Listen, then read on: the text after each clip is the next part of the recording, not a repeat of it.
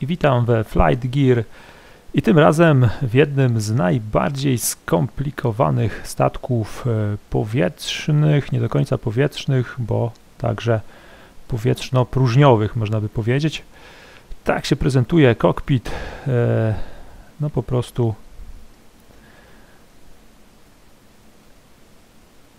po prostu najbardziej skomplikowane cudo, jakie chyba we Flight Gear widziałem. A jest to oczywiście wahadłowiec kosmiczny, czy też po angielsku Space Shuttle.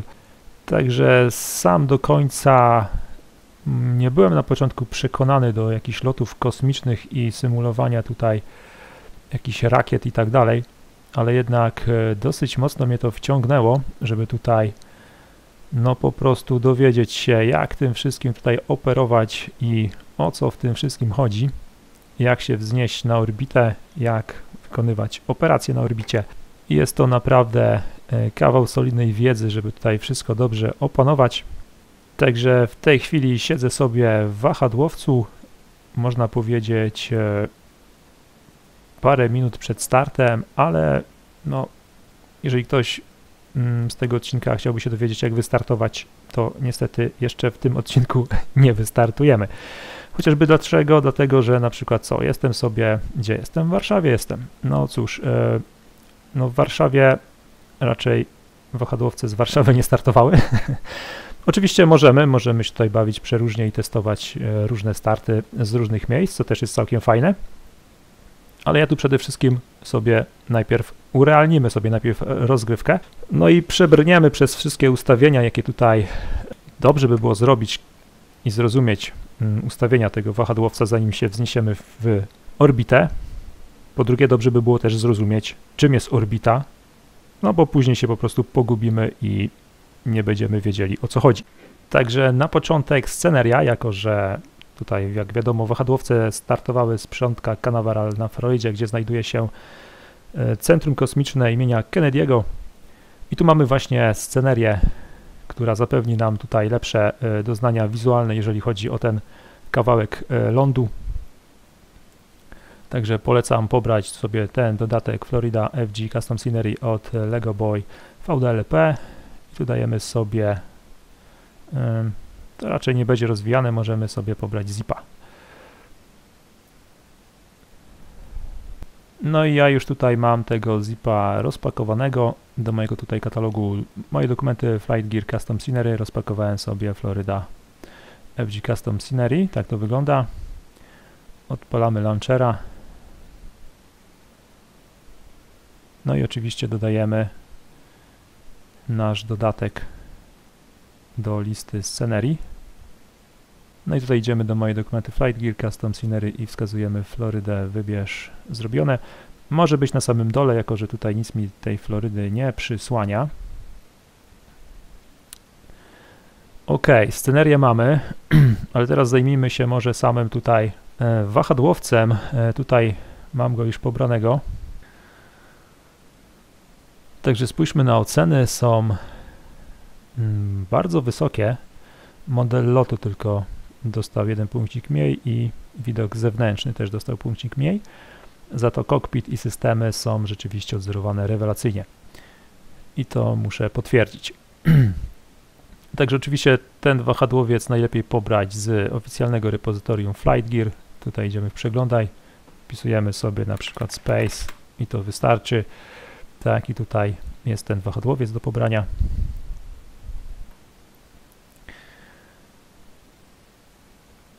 I zobaczmy sobie też e, tutaj, jakie mamy opcje startowe do tego e, statku.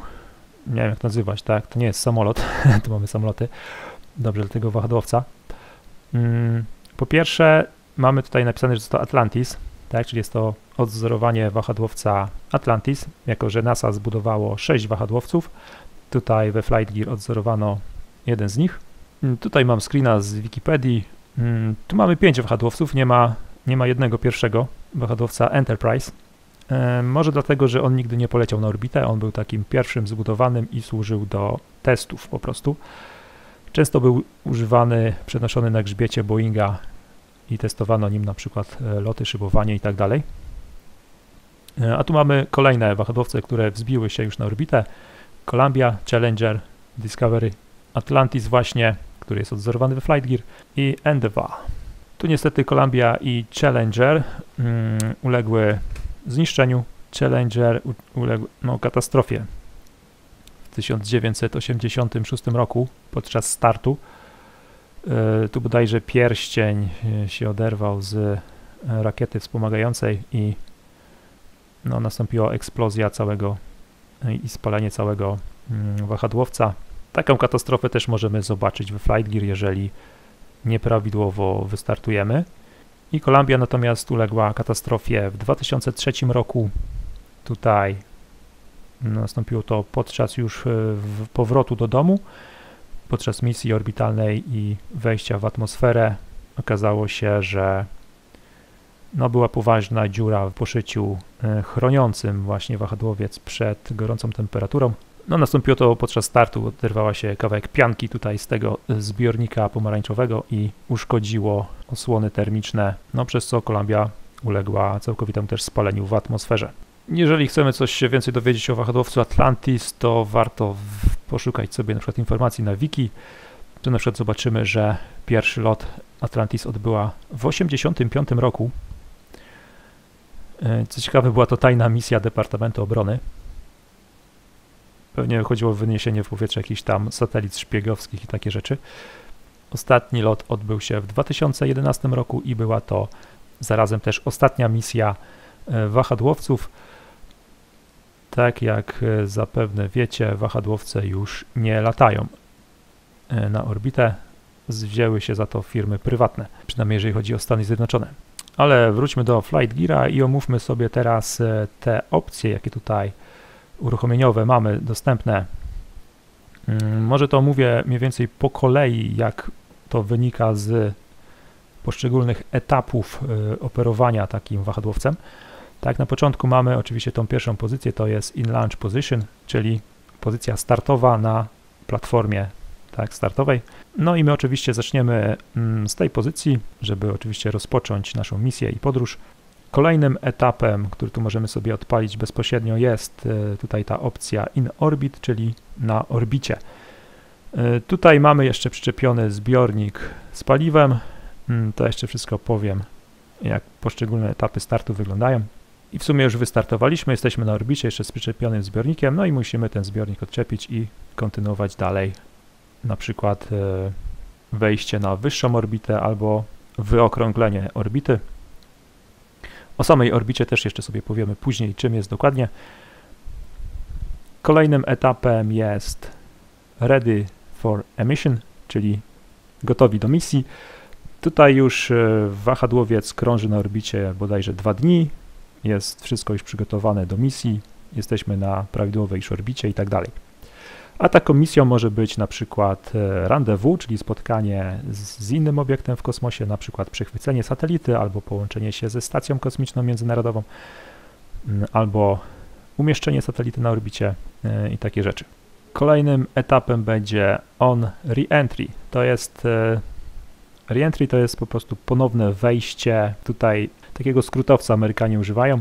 Chodzi o ponowne wejście w atmosferę oczywiście. No i tutaj na tym etapie, jak to uruchomimy z tą opcją reentry, to oczywiście będziemy tuż przed e, wejściem w atmosferę. Zobaczymy fajne efekty rozgrzanej plazmy. No i tak będziemy mogli kontynuować dalej, żeby właśnie e, wejść w atmosferę. I kolejnym etapem wejścia właśnie w atmosferę jest on TAEM. A to jest skrót od Terminal Area Energy Management. No to jest ten moment, kiedy wahadłowiec łapie już e, atmosferę i powierzchnie sterowe zaczynają tym wahadłowcu funkcjonować i wahadłowiec zaczyna po prostu szybować. I ostatnim etapem jest tutaj on final. Jest to te finalne, ostatnie podejście do lądowania. Tutaj możemy właśnie sobie ćwiczyć samo lądowanie, które też nie jest łatwe, zwłaszcza jeżeli sobie tutaj ustawimy realistyczny tryb no, w ogóle całego tutaj, całej tutaj obsługi e, wahadłowca. Bardzo często łamałem koła przy tym lądowaniu, trzeba utrzymać właściwą prędkość, właściwe też, właściwą też prędkość pionową, żeby nie za mocno uderzyć tymi kołami. E, trzeba też otworzyć spadochron. E, zawczasu też trzeba oczywiście wysunąć hamulce aerodynamiczne i tak dalej. Co ciekawe, tutaj oczywiście wahadłowiec ląduje po prostu szybując. Po wyjściu z atmosfery wahadłowiec już nie ma silników, musi po prostu jedynie szybować i doszybować do pasa i bezpiecznie wylądować. Co też jest fajne, z tą opcją on final dostaniemy po lądowaniu mm, takie okienko z informacją, coś w rodzaju takiej informacji punktowej, czy prawidłowo wylądowaliśmy, czy czegoś nie uszkodziliśmy i tak dalej, dzięki czemu możemy coraz bardziej doskonalić nasze tutaj umiejętności e, lądowania. I ostatnią tutaj opcją jest e, opcja Free Fly Test, czyli tutaj startujemy z kolei na grzbiecie Boeinga, specjalnie zmodyfikowanego Boeinga, który przenosi właśnie wahadłowce, przenosił. Tutaj możemy właśnie najpierw sobie sterować mm, takim wahadłowcem, e, takim samolotem Boeingiem, a następnie odczepić się od tego Boeinga i na przykład poszybować już na lotnisko samodzielnie wahadłowcem. Także ja oczywiście w tej chwili wybieram opcję startową na pozycji do odpalenia. No i teraz należałoby sobie wybrać lokalizację, z której chcemy wystartować. Możemy wystartować z dowolnego pasa lotniska, e, jakiego tylko chcemy. Ale tutaj należy też wiedzieć, e, czym jest inklinacja orbity, ale to sobie jeszcze później powiemy, bo im bliżej równika będziemy startowali, tym oczywiście będziemy mogli uzyskać mniejsze kąty nachylenia orbity, czyli inklinacji a im dalej od równika, na przykład w Warszawie, tym te kąty nachylenia orbity będą no, dużo wyższe. Tutaj jeżeli chodzi o e, Kennedy Space Center, to mamy tam lotnisko z kodem ICAO Kilo Tango Tango Sierra. No i w sumie moglibyśmy wystartować sobie z tego lotniska, co też nie jest realistyczne, no bo wahadłowce nie startowały z lotniska, a lądowały na tym lotnisku, a w sumie starty odbywały się nieopodal tego lotniska. Były dwie platformy startowe. No i w zasadzie tutaj Flight Gear oferuje nam opcję uruchomienia się z dowolnego punktu na kuli ziemskiej, podając po prostu współrzędne geograficzne. I dla nas to będzie najlepsza opcja, żeby właśnie tak zrobić, czyli dokładnie umieścić się z tego miejsca, z którego startowały e, wahadłowce. No i wystarczy, że sobie uruchomimy jakąkolwiek mapę. Ja na przykład tutaj sobie odpaliłem OpenStreetMap i przejdźmy tutaj do przylądka Canaveral. To jest tutaj. Tu widzimy to lotnisko, które pokazywałem we Flight Gear, na którym wahadłowce lądowały. Tu widzimy te dwa, e, dwa pady tu jest pad 39A, a tutaj mamy 39B. Tutaj sceneria, którą właśnie tam zainstalowałem, ona dosyć wiernie odzorowuje tutaj te wszystkie uliczki i te, te miejsca startowe.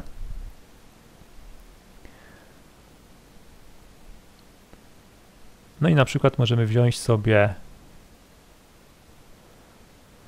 ten pad 39A. E, e, wystarczy sobie teraz tutaj na przykład kliknąć prawym. Mm, dajmy sobie pokaż adres. Tak, i to nam pokazuje, tak mamy pokazane, współrzędne geograficzne lat i lon, czyli szerokość geograficzną i długość geograficzną. No i te wartości musimy sobie skopiować. Przechodzimy do Flight Gear i tutaj dopisujemy parametry lat równa się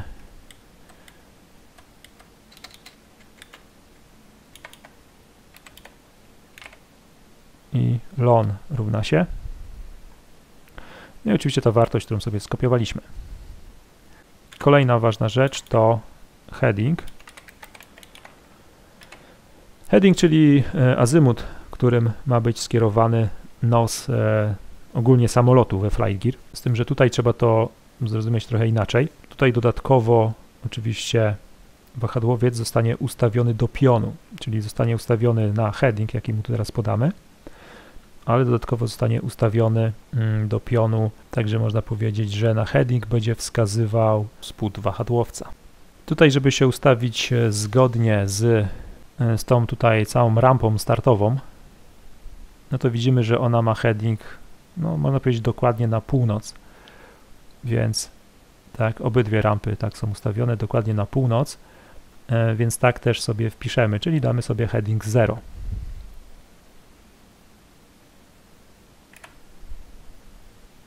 No i uruchommy to teraz, dajmy, lećmy. No i jesteśmy wczytani, zobaczmy jak to wygląda. Jak widzimy, e, stoimy mniej więcej na właściwej pozycji, ale nasza tutaj platforma, jak widzimy, no wtopiła się w rampę startową. Niestety jest tutaj pewien błąd polegający na kolejności wczytywaniu się elementów. Rampa wczytuje się na końcu jako element scenerii i e, no i ta platforma startowa ląduje w środku rampy, co nie wygląda też fajnie. To też widzimy, że chyba nawet nam przykrzywiło ten wahadłowiec. No jest to problem jedynie tego miejsca, tego, tej pozycji startowej 39A.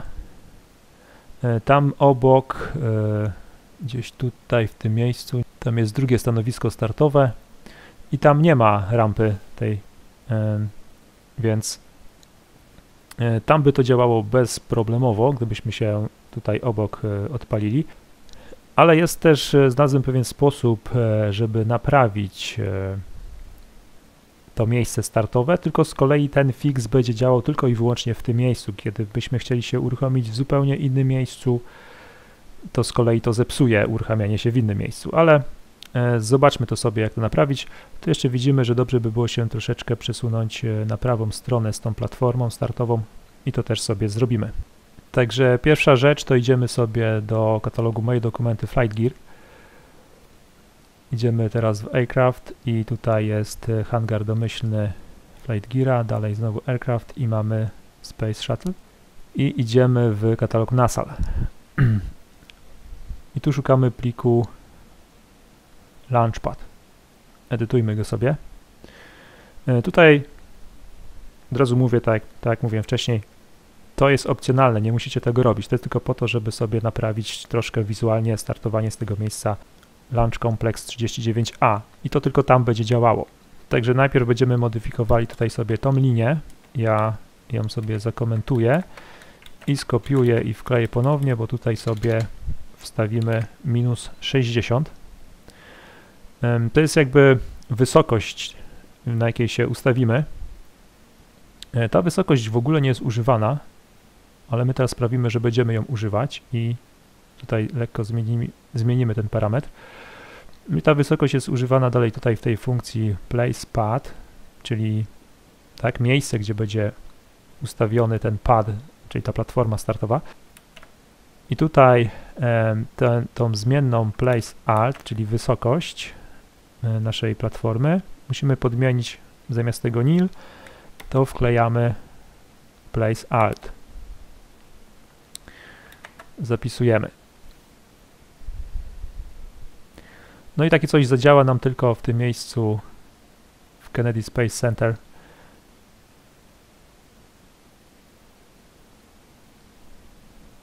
Tu jeszcze, no jeszcze tutaj w ustawieniach zmienimy sobie współrzędne graficzne latlon. Ja tutaj wkleję nowe wartości, oczywiście leciutko tam przesunięte. Ja już wcześniej sobie wybadałem, że z tymi wartościami wygląda to w miarę najlepiej. Jak coś możecie sobie przepisać. Mm, tutaj kolejna ważna rzecz to to, że musimy się uruchomić w trybie pauzy, to znaczy, żeby symulator na starcie był zapauzowany, czyli tu robimy rozpocznij w stanie zatrzymania. To jest ważne, żeby to sobie zaznaczyć. Dlaczego tak? E, do tego, że jeżeli damy tą pauzę, to odwrócimy kolejność wczytywania się scenerii, czyli najpierw doczyta się ta rampa, która nam psuła wysokość, a dopiero później e, ustawimy się my z naszą platformą startową. Także tak, uruchamiamy się w stanie pauzy i dajemy lećmy. No i jesteśmy uruchomieni, ale pamiętajmy, że jesteśmy teraz e, zapauzowani. Zmienimy widok. tak wygląda, gdy jesteśmy zapauzowani. Po prostu wahadłowiec jest e, gdzieś umieszczany bardzo wysoko. Tu jak widzimy na dole nasza rampa się załadowała. O, z tej wysokości fajnie widać te dwa stanowiska startowe. Tu na przykład nie mamy rampy, więc nie musielibyśmy robić tego fixa z wysokością w plikach tam nasal tego launchera. Mm, ale teraz mamy kolejność prawidłową.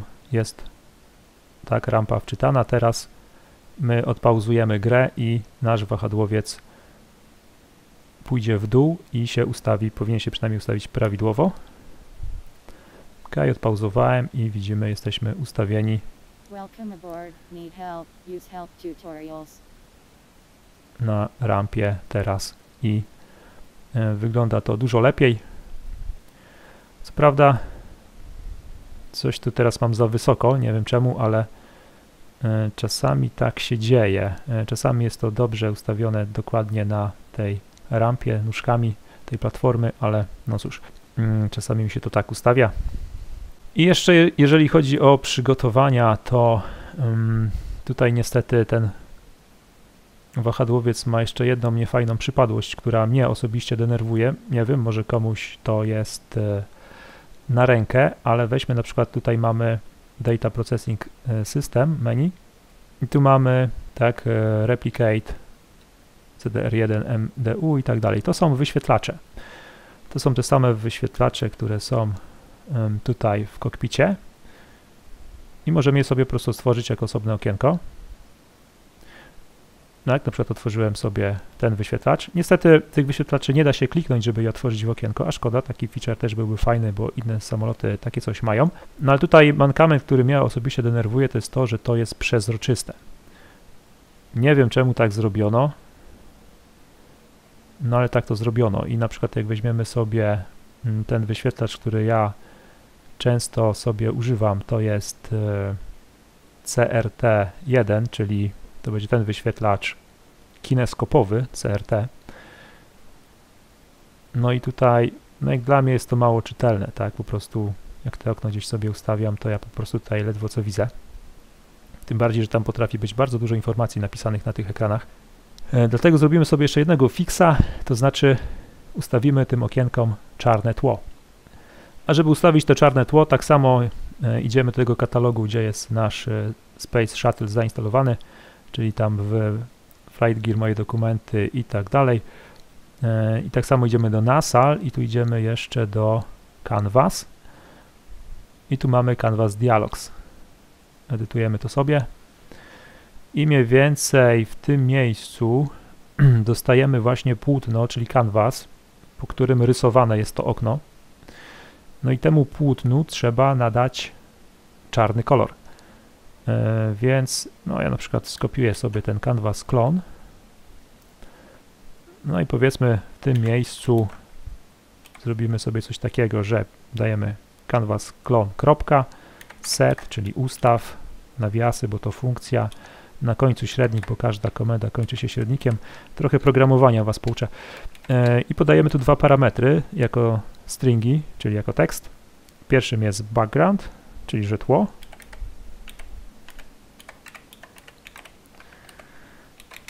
I że ustaw tło na kolor czarny. I tutaj możemy się posłużyć e, wartościami RGB, tak samo jak nie wiem, przy tworzeniu stron internetowych, jeżeli ktoś stworzył strony internetowe, to na pewno się tu odnajdzie. Czyli podajemy najpierw, skład, najpierw piszemy hash, teraz podajemy składową R, to jest 0, podajemy to w systemie szesnastkowym, więc biały to będzie FF, czyli 255, inaczej, dziesiętnie, ale czarny to będzie R0, B0 i G0, tak, czyli podajemy w sumie 6 zer i tyle. No i taki wpis powinien nam załatwić, że wszystkie tokienka będą wyświetlone z czarnym tłem. Zapisujemy to sobie i odpalmy się jeszcze raz. To już w sumie nic nie musimy zmieniać. Dajemy lećmy. No jestem w kokpicie, już się zdążyłem też odpauzować, więc e, stoję na rampie. No, tak by the way, tym razem stoję prawidłowo na wysokości. Czasami coś ta wysokość się też psuje. Ale wróćmy do tego, co chcieliśmy tutaj zrobić, czyli ustawić czarne tło. Tak, proszę bardzo. W końcu tutaj te okna są teraz dla mnie czytelne. Także prosty fix i jest tak jak chcemy. Oczywiście jak ktoś chce, może sobie też ustawić dowolnie inny kolor, operując tymi zmiennymi RGB. Ale tutaj jak najbardziej czarny jest e, najbardziej odpowiadający. No niestety trochę się tutaj naprzygotowujemy, jeżeli chodzi o ten wahadłowiec. Teraz tak, e, kolejne ważne rzeczy to jest to, żeby sobie wyłączyć pobieranie scenerii. Ja akurat mam w tej chwili wyłączone, ale właśnie ważne jest, żeby sobie tego checkboxa odznaczyć. Możemy go mieć zaznaczonego na początku, żeby nam wczytało tą scenerię, ale później warto to odznaczyć, dlatego że no oczywiście na początek dobrze to mieć, żeby ta sceneria się cała wczytała, chociaż jeżeli tak mamy zainstalowaną tą scenerię jako dodatek, to ona będzie. A scenerię odznaczamy dlatego, że lecimy na orbitę i będziemy krążyć wokół całej Ziemi, a to oznacza, że Flight Gear będzie próbował ściągać wszystkie kafle niemal, niemal całego globu, no co oznacza pobieranie jakichś 80 GB danych, e, co raczej chyba tego nie chcemy. Więc to jest bardzo ważna rzecz, najlepiej już e, mieć to na uwadze i pamiętać o tym, że pobieranie scenerii jest e, wyłączone. Kolejne ważne rzeczy to zobaczmy sobie opcje mm, tutaj, jakie są dla tego wahadłowca. Tu idziemy w menu Space Shuttle, tu jest cała litania różnych opcji, ale tak, weźmy sobie Simulation Options i mamy symulację e, na początek. Ok, pierwsza rzecz to jest suwaczek co do e, Thermal System Computation Speed, czyli czyli jest to szybkość obliczeń mm, systemu cieplnego, coś w tym stylu. Mm, o cóż tu chodzi? Weźmy sobie ten widok Orbiter Temperature Distribution.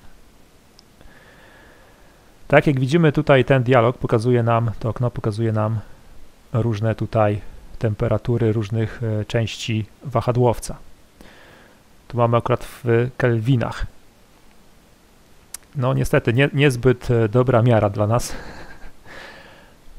Możemy też sobie to zmienić na Fahrenheity, co też nas trochę nie ratuje, Amerykanów może bardziej.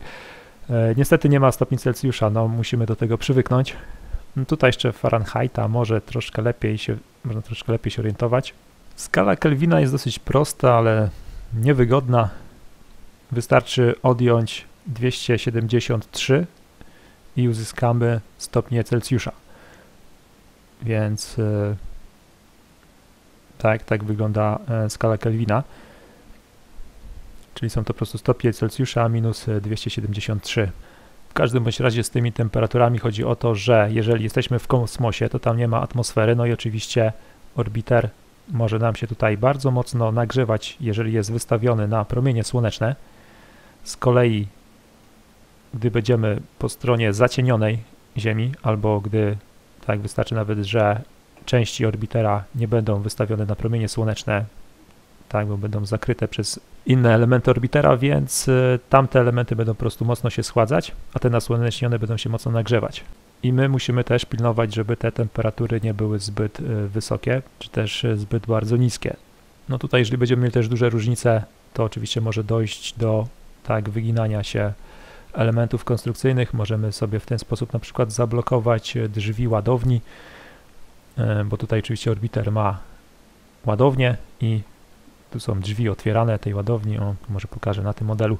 No jeżeli to się pokrzywi od temperatur, to możemy tego później nie zamknąć, mogą być problemy i tak dalej. No a ładownię trzeba będzie zamknąć, żeby móc bezpiecznie wejść w atmosferę. No i wracając teraz do suwaka, tutaj mamy po prostu tempo obliczeń tej temperatury. No i w tej chwili domyślnie mamy tempo ustawione na realne, czyli takie rzeczywiste tempo nagrzewania się całego orbitera. A my dla celów e, czy to edukacyjnych, czy to właśnie no po prostu zabawy, symulacji, możemy sobie te tempo tylko zwiększyć. I mamy dwie skale, możemy zwiększyć dziesięciokrotnie albo tu na maksa, tak, accelerated, stukrotnie. Teraz możemy zobaczyć, jak te temperatury będą nam się e, zmieniać. Tu widzimy, że tak, cyferki, cyferki się ruszają, zaczynają tutaj szybciej się zmieniać, po prostu stukrotnie, tak jakbyśmy czas przyspieszyli stukrotnie, to tutaj nam się odpowiednio ten cały wahadłowiec nagrzewa.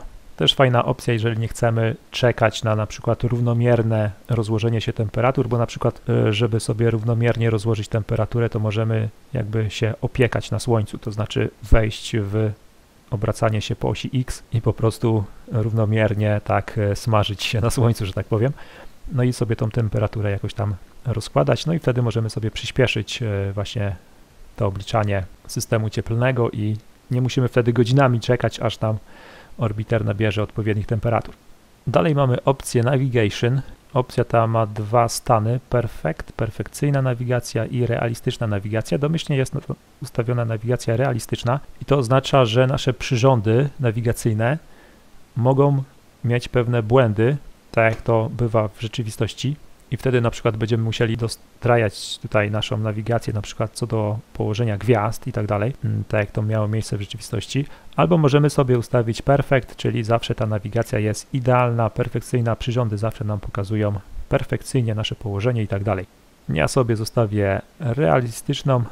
Trzecia opcja to jest DPS Realism, DPS, czyli Data Processing System i tu mamy do wyboru uproszczony albo realistyczny. Ja polecam uproszczony i będę używał uproszczony, dlatego że w ogóle no, ten, ten data processing system to jest oczywiście związane z komputerami tego wahadłowca, a to są, e, jak budowano te wahadłowce lata 70., 80. i te komputery są naprawdę toporne. To oznacza, że jak sobie ustawimy tutaj tryb realistyczny, będziemy musieli naprawdę zmagać się z tym komputerem. To będzie droga przez mękę. Będziemy musieli konfigurować wszystko dokładnie, pamięć tego komputera i tak dalej. Jeżeli damy uproszczony, to po prostu to zadziała dużo lepiej. No, no lepiej, nie, może nie lepiej, ale zadziała po prostu już od razu, bez jakiejś tam dodatkowej konfiguracji. E, przy trybie realistycznym będziemy musieli bardziej korzystać z jakichś bardziej realnych checklist tego wahadłowca, które też są do ściągnięcia i to sobie też e, zobaczymy później. W każdym bądź razie ja zostawię opcję domyślną, uproszczone Data Processing System. Dalej mamy Multifunction Display Unit Update Speed, czyli prędkość aktualizowania wyświetlaczy MDU. E, wróćmy do kokpitu. No to chodzi po prostu o te wszystkie wyświetlacze tutaj, tak, wielofunkcyjne, które pokazują różne parametry i tu możemy zwiększyć ich odświeżanie, ich szybkość aktualizacji danych. Oczywiście, jeżeli damy slow, to będziemy widzieli, jak na przykład te taśmy, czy tak ten globus, ta kula tutaj przesuwają się bardzo skokowo, mało płynnie. Im damy bardziej fast, to będzie tutaj ta animacja dużo bardziej płynniejsza, ale kosztem niestety i to bardzo mocnym obciążenia procesora naszego komputera. E, zobaczmy sobie, na przykład teraz mam niemal 60 klatek, ale jeżeli wskoczę tutaj na najwyższą wartość fast, już mi klatki spadły do 37, no nawet teraz 40, no maksymalnie do 40 paru, tak, ale też spada do 30 tam paru, więc e, no tutaj nie należy przesadzać. Ja mam dosyć mocny komp, a i tak e, nie wyciska mi to na 30 klatek, więc ja sobie zostawiam tutaj o jedną skalę mniej i już jest lepiej, mam prawie 60 klatek. Dalej mamy opcję Attitude Director Indicator Ball Detail i mamy niskie detale low albo wysokie detale high. E, cóż to jest ten Attitude e, Director Indicator? To jest e, oczywiście tutaj ta kula, ta piłka tutaj, tak, nazywamy to ball, czyli nie wiem, bardziej piłka można by powiedzieć. Jeżeli sobie dam tu jeszcze zooma, zmieńmy może ten widok, o, tak większy dajmy. No i zobaczmy sobie, tak wyglądają teraz o detale najwyższe. Widzimy, że te linie są bardziej okrągłe. Mamy tu jeszcze różne detale typu kropeczki i tak dalej. Tak, jeżeli teraz będę zmniejszał detale na mniejsze, to widzimy, że już te kółko jest bardziej kanciaste. Teraz znikły te kreseczki. I jeszcze dalsza degradacja i wszystko znika, tak? E, także też należy zauważyć, że to ma dosyć duży wpływ na e, wydajność e, tutaj całego symulatora i obciążenia naszej karty graficznej czy też procesora. W tej chwili mam 60 klatek, jeżeli wskoczę sobie na najwyższe detale,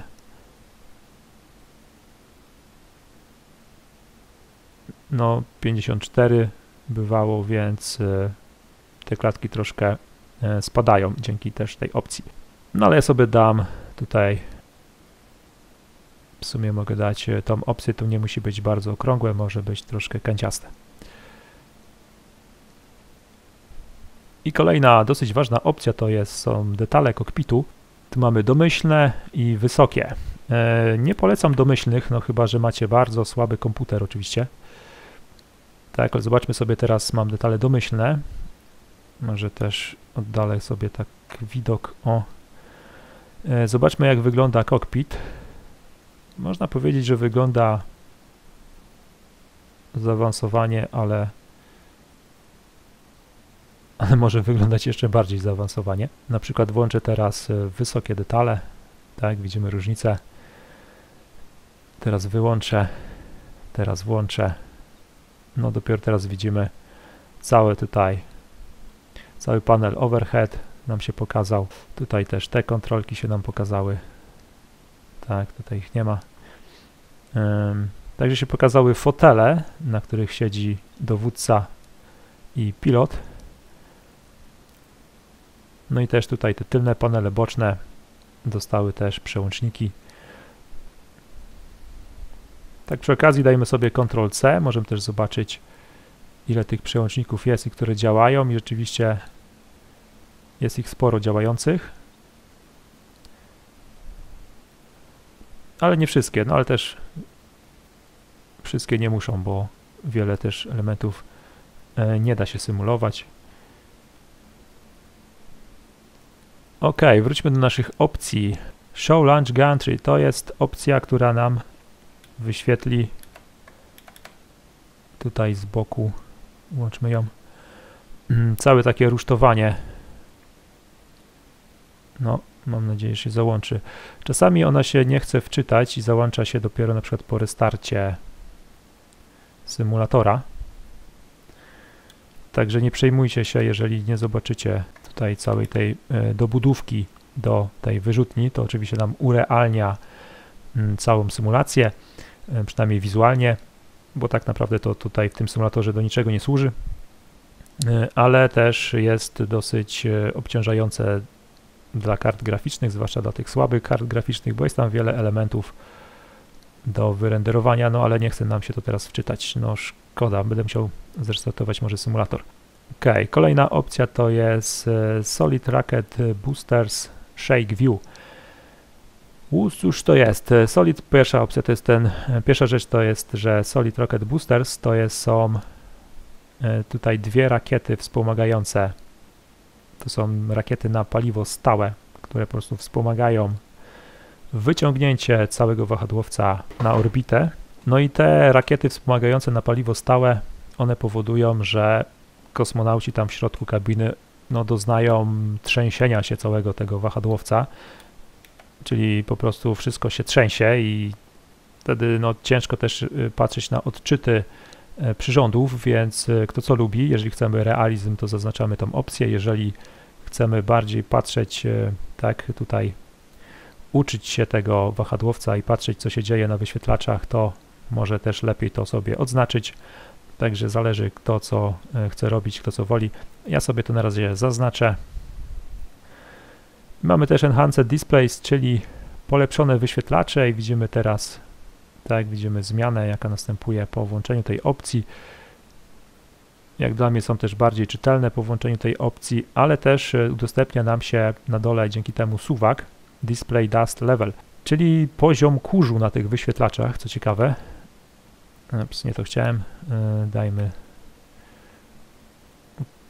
Ok, teraz za bardzo tego kurzu nie widać, e, bo słońce nie pada na wyświetlacze. Tak, tu mamy w prawo, że jest dużo kurzu, w lewo, że jest ekran czyściutki. No ja tak preferuję bardziej na środku, bo ten kurz jak jest za dużo, to rzeczywiście tego kurzu jest tak dużo, że ledwo co widać na tych wyświetlaczach. Zmieńmy sobie pozycję słońca. Mm, czas. Dajmy nun może, zobaczmy.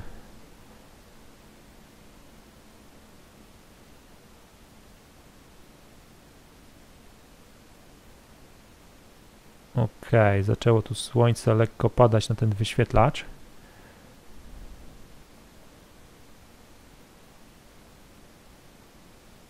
Może jeszcze troszkę przesuńmy to słońce, zobaczmy mm, jak ten kurz tu wygląda. Tak, jeżeli teraz zwiększę ten kurz, to widzimy, że no, jest go bardzo dużo. Czasami już tak dużo, że rzeczywiście ciężko jest odczytać informacje. Ekrany są bardzo zabrudzone. No ale fajne, mamy detale, szczegóły, możemy tutaj sobie włączyć takie realistyczne rzeczy. I kolejny checkbox to jest Velcro Visuals. E, Velcro to są rzepy i tu jak widzimy te paski niebieskie poprzyczepiane w przeróżnych miejscach. Tu mamy, tu mamy, no to jest wszędzie, tak? Te, te rzepy są poprzyczepiane wszędzie. U góry, tutaj, po bokach. No oczywiście jest to po to, że w stanie nieważkości astronauci mogą sobie na te rzepy poprzyczepiać różne rzeczy, tak żeby im to wszystko e, nie fruwało w powietrzu. I tutaj mamy właśnie opcję, żeby sobie takie no, włoski dodatkowo na tych rzepach wyrenderować. O, może złapmy sobie tego, to coś widać lepiej.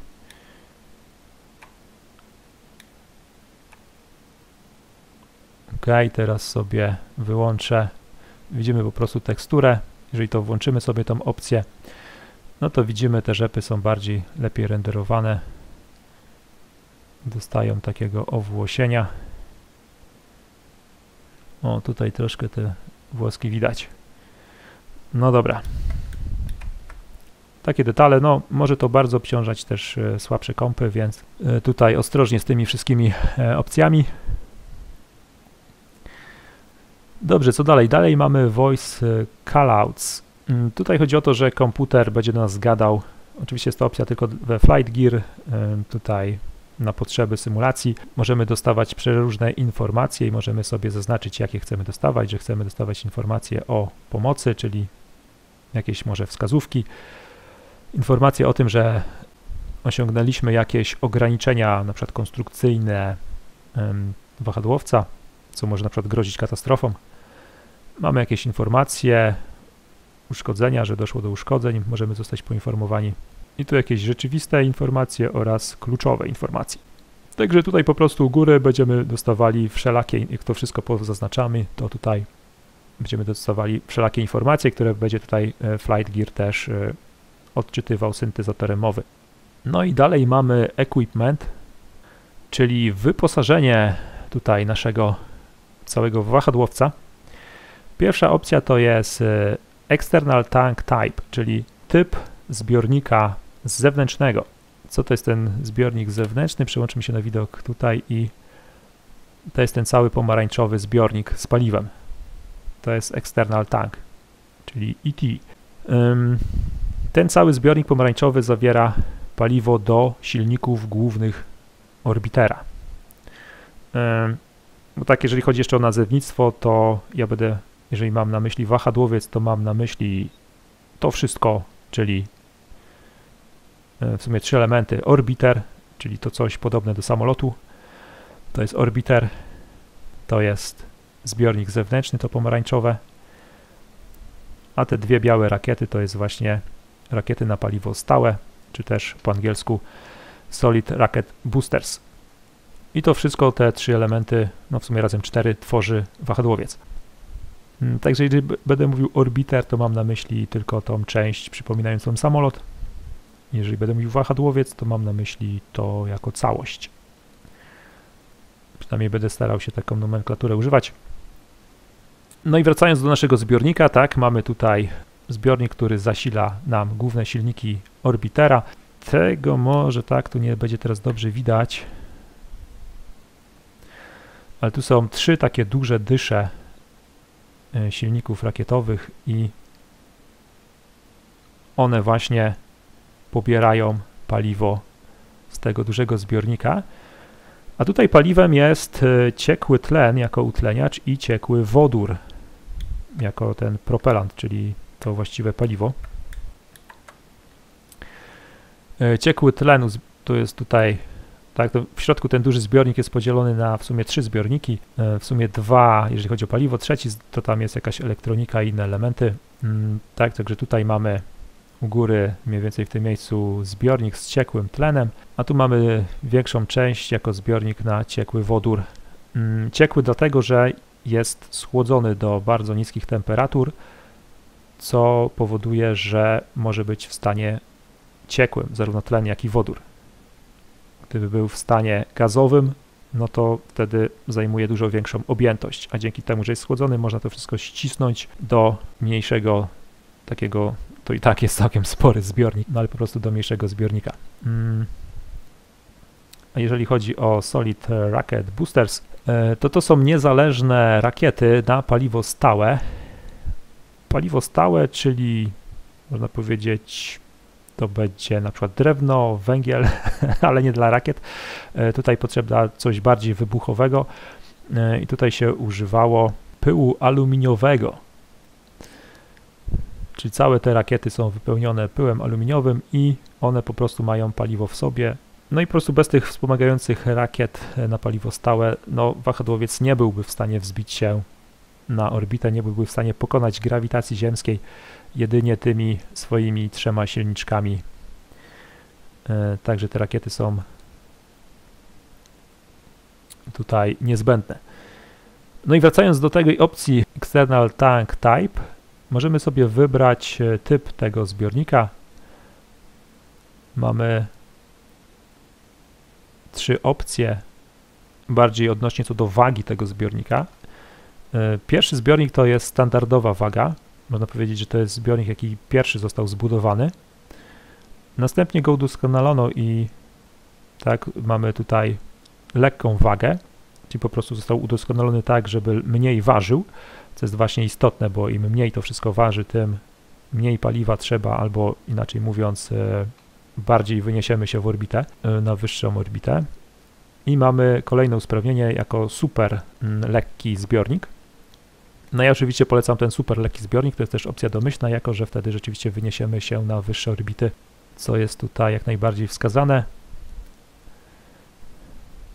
Tym bardziej jak się tutaj załadujemy jakimś jeszcze załadunkiem, e, co zaraz sobie zrobimy.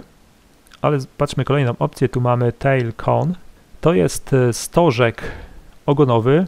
Tutaj będąc na e, platformie startowej nie uświadczymy tego stożka ogonowego, dlatego że tym trybie nie da się założyć tego stożka ogonowego. Stożek ogonowy jest zakładany na przykład wtedy, jeżeli e, wahadłowiec jest transportowany na grzbiecie e, samolotu Boeing 747. Ten stożek ogonowy powoduje, że orbiter ma lepsze właściwości lotne, mm, a bardziej mówiąc e, właściwości też szybownicze, dlatego że orbiter jak już wraca atmosfer do atmosfery, to on już nie używa żadnych silników, tylko po prostu szybuje i ląduje do, e, tak, podchodzi do lądowania szybując. No i z tym stożkiem ogonowym no, dostaje po prostu lepszych właściwości do szybowania i dlatego e, ten stożek ogonowy tutaj też mamy jako opcję.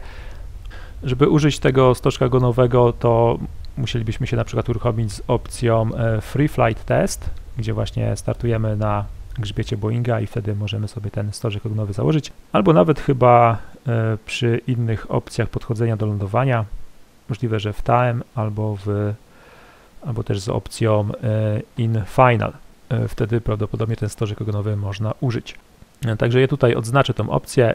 Kolejna opcja to jest payload, czyli załadunek. Tutaj możemy sobie wskazać, co chcemy włożyć do ładowni orbitera. Non to oczywiście nic. Tu mamy satelitę TDRS demo. To są satelity komunikacyjne. Z taką satelitą też wahadłowiec będzie się łączył będąc na orbicie. No i to jak sobie włożymy taką satelitę do ładowni i sobie jeszcze zmienimy widok o tutaj na to okno z tyłu. Tak, jestem teraz ustawiony mm, tutaj przy tym oknie. No i widzimy tutaj tą satelitę, jak dam non, tak, o teraz luk bagażowy jest pusty. Teraz jest taka satelita i możemy jeszcze sobie tutaj wrzucić e, inną satelitę Spartan 201. No dobrze, może dajmy sobie ten TDRS demo. Kolejna opcja to jest OMS Kit. OMS jest od Orbital Maneuvering System, czyli system manewrowania orbitalnego, można chyba tak to przetłumaczyć. To są z kolei te OMSy, można powiedzieć, to są z kolei dwa kolejne silniki, jakie ma orbiter e, w swoim zanadrzu, tudzież na swoim tyle. E, znowuż to nie będzie tego dobrze widać, niestety. Może tak to z boku dam. O, to są te mniejsze silniki, te mniejsze dysze. Są takie dwie z lewej i prawej strony. Tak, tu są te trzy duże. O, nie widać tego dobrze, ale no tak, tutaj jest ta prawa i lewa dysza silników OMS. No i do tych silników możemy dobrać sobie dodatkowe paliwo. Te silniki używamy tylko i wyłącznie na orbicie. One do niczego innego nie służą jak do wypalania na orbicie, żeby wznieść się na przykład na wyższą orbitę albo żeby wyokrąglić orbitę, co też będziemy później robić. E, I tu możemy sobie dobrać e, dodatkowe zestawy z paliwem, które na przykład nam pozwoli na wypalenie tych, e, tak, tego paliwa, tak żeby na przykład przelecieć 500 stóp na sekundę. No ale oczywiście im większą wartość tu sobie wybierzemy, tym jakby więcej tego paliwa sobie zabierzemy. I to jak sobie weźmiemy też do luku bagażowego, to też widzimy, że mm, te zbiorniki się tutaj dodają. Tu mamy 500, 1000 kolejne i 1500. I ja ich nie będę zabierał, powinno nam w zupełności wystarczyć to, co mamy. E, ponieważ wahadłowiec ma e, już tutaj te paliwo, mm, one się tutaj znajdują w tych, tutaj tylnej części mm, orbitera i to paliwo jest w sumie wystarczające do operacji na orbicie. Ale tutaj NASA próbowało właśnie takich opcji, żeby móc zabrać więcej paliwa dla silników OMS, ale też z tego co e, czytałem, to nigdy z tego nie skorzystano, ale była taka możliwość. Kolejna opcja to jest COAS. To jest skrót od Crew Optical Alignment Site. Mm, to jest inaczej celownik optyczny dla załogi mm, i możemy sobie taki umieścić albo z przodu, albo na rufie. To zobaczymy sobie też y, z widoku w kabinie, ale coś mi się zacięło. OK. Wróćmy sobie do tych opcji i tutaj mamy na przykład z przodu możemy sobie umieścić i e, tutaj widzimy, że to się dodało. O, jak dam non, znika, damy z przodu, mamy ten celownik. E, tu go można sobie jeszcze włączyć do prądu, zasilanie on i w tej chwili tutaj o, widzimy jest e, taki celownik wyświetlany. Możemy to wyłączyć z prądu, celownik znika. Tu można jeszcze to kliknąć, wyświetla nam się takie e, filtr dzienny. Mm, I tutaj dodatkowo jeszcze mamy, jak damy Ctrl V, wyświetla nam się takie okienko do zmiany kamery i mamy dwie pozycje dla tego e, celownika, też podpisane jako COAS. E, to jest właśnie ta z przodu, ta pozycja z przodu tak, mamy ten celownik i tutaj na rufie. Teraz się w zasadzie patrzymy przez okno y, w suficie. Tak, to jest okno na ładownię, to jest okno w suficie. Tu mamy dwa takie okna i tutaj też możemy sobie umieścić ten celownik jako aft, czyli na rufie. Tu też możemy go sobie włączyć mu zasilanie i mamy wtedy wyświetlony celownik. Oczywiście to służy do tego, żeby na przykład namierzać pozycję gwiazd albo po to, żeby dokonać rendezvous, czyli na przykład dokować do stacji kosmicznej. No i oczywiście te opcje też możemy sobie włączyć w każdej chwili. To nie jest tak, że teraz musimy przed startem je sobie włączyć. Możemy nawet sobie e, payload, załadunek załadować na orbicie, co jest w ogóle już nierealistyczne, ale jeśli chcemy, możemy tak sobie robić. Dobra, wróćmy do widoku dowódcy. I kolejna opcja to jest ten checkbox, tu jest e, pozwól albo mm, schowaj luźne elementy. To jest opcja, która tutaj możemy sobie włączyć najlepiej, jak już będziemy na orbicie w stanie nieważkości. Wtedy włączając tego checkboxa sprawimy, że tutaj po kokpicie będzie fruwał e, segregator po prostu A, on teraz jest w ładowni. E, rzeczywiście, on jest w ładowni. Tak, po prostu sobie lata taki e, segregator, jakby dając nam wrażenie, że jesteśmy w stanie nieważkości. Kiedy to odznaczymy, to jakby tak zabieramy tą, ten element. E, czasami może być denerwujące, jak to sobie włączymy, bo może nam przysłaniać jakieś elementy na kokpicie, które chcemy klikać, więc kto jak lubi. I kolejna opcja bardzo ważna to jest Orbital Rendering, którą sobie bardzo, bardzo, bardzo ją rekomenduję włączyć. E, automatically use Air View Orbital Rendering, tak, czyli automatycznie użyj mm, tego renderowania Ziemi z orbity. Flight Gear to oferuje normalnie zawsze tutaj z tej opcji poprzez widok Air View Orbital Rendering. Tutaj też warto powłączać może te wszystkie opcje. Mm, no i normalnie takie coś musimy włączyć tutaj tym przyciskiem Start, ale to jest bardzo niewygodne, bo kiedy lecimy w orbitę, no to tak, teraz jesteśmy na Ziemi, więc nie możemy tego włączyć, bo popsujemy sobie widok, e, ale jeżeli już będziemy nad pewnej wysokości, no to musimy to włączyć, bo inaczej no, Flight Gear nie potrafi renderować e, Ziemi z tych kafli, które tutaj mamy normalnie, teraz które widzimy w widoku zewnętrznym no te kafle nie będą widziane z orbity, po prostu w ogóle nie będzie widoczna Ziemia, będziemy tylko widzieli aureole atmosfery, ale w ogóle bez Ziemi. No i wtedy byśmy, musielibyśmy tutaj automatycznie wchodzić, znaczy ręcznie wchodzić tutaj i klikać ten przycisk Start, żeby e, ta Ziemia z orbity nam się zaczęła renderować. A tak, jeżeli zaznaczymy tą opcję, to stanie się to automatycznie na tutaj zadanej wysokości przez nas.